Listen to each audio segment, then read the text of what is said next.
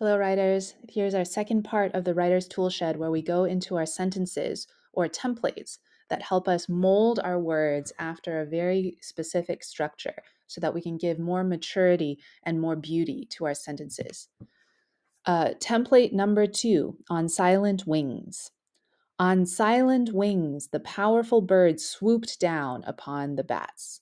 This is by Janell Cannon from the book Stellaluna and you can see the, the phrase that we're um, zooming into here is this first phrase, on silent wings, comma.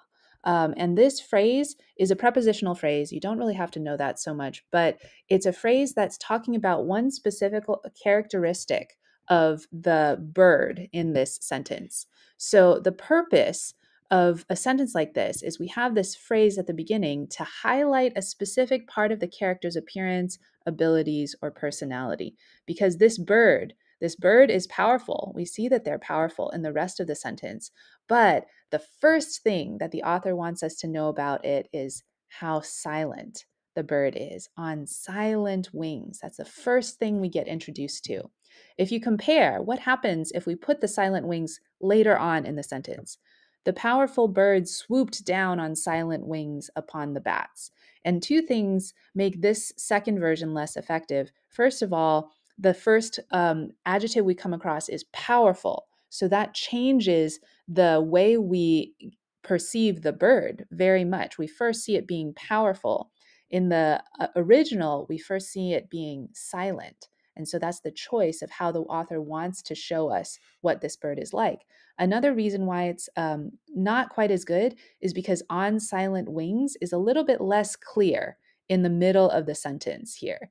At the beginning, on silent wings, the powerful bird, we know that these silent wings belong to the bird. But when you get the powerful bird swooped down on silent wings, are they swooping on the wings? Like, are, are the wings down below and the bird is swooping on other birds' wings? Uh, and so you get confused. So um, let's look at some example imitations. If we were try to, to try to imitate this sentence, um, we can use our own phrases that can go in this beginning prepositional phrase. With eager eyes, the child opened its hands to grasp the ice cream cone. With blazing cannons, the pirate ship crested the wave and joined the battle. So, again, it's choosing something that will be the first thing to come across to characterize the child or the pirate ship. Uh, your homework this week is you're going to do sentence imitations. Write five sentence imitations of our week two template on silent wings. In each one, use one of the words below, and these words came from our writer's tools in the previous video. The word does not have to be in the on silent wings phrase, it can be in the other part of the sentence. Here's what I mean.